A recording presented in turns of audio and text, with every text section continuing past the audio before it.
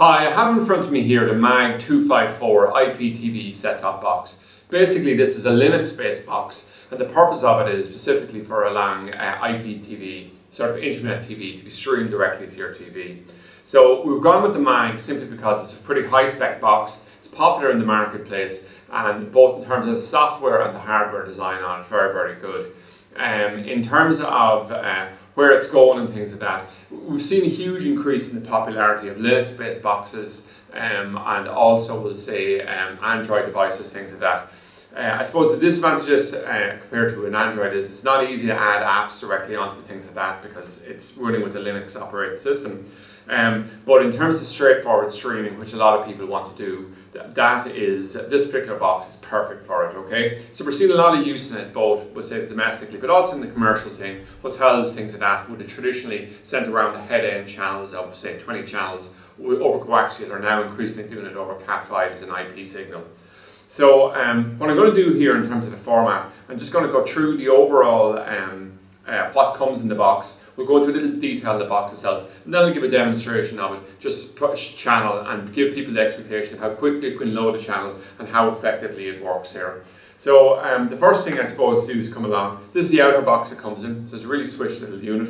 Uh, we have a user manual here which is in English. We have a power unit, 12 volt, 1 amp. And also we have, uh, for older TVs, we can use this 3.5 uh, millimeter to RCA converter cable, connect it onto the back and output it to a TV. Um, we have the user manual here as well, which is uh, our the remote control, which comes with a set of AAA batteries, and it's a nice remote both in terms of range and uh, size, etc. So what I'm going to do now is I'm just going to um, just mention here. You can see the box; it's a very neat little unit, and in proportion to the size of my hand, very very small. You know, so um, you have a USB port on the front, and if I just rotate the unit around, what I'll do now is I'll just come around to the front of the box and I'll just mention the fact, we'll say there's a second USB port on the back. Now it's not Wi-Fi enabled, but we could, we'll say, add a Wi-Fi dongle on here. There's associated ones we sell that are perfect for the Mag box.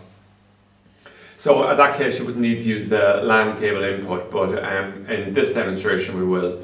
And what we have here is an SPDIF um, digital optical output, and uh, what, what we have then is um, a HDMI output and also an AV um, output here where we can convert it over to the RCA and then we have the LAN cable input as well.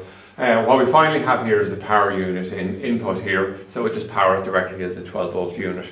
Now what I have over here is I've just the general menu set up so we'll have um, TV setting is obviously what most people use. But there's things settings on it like a video club. You can go into YouTube. You can set up radio stations and listen to it through the box as well. We have settings here as well, just the general setup in terms of the output for the screen, etc. like that.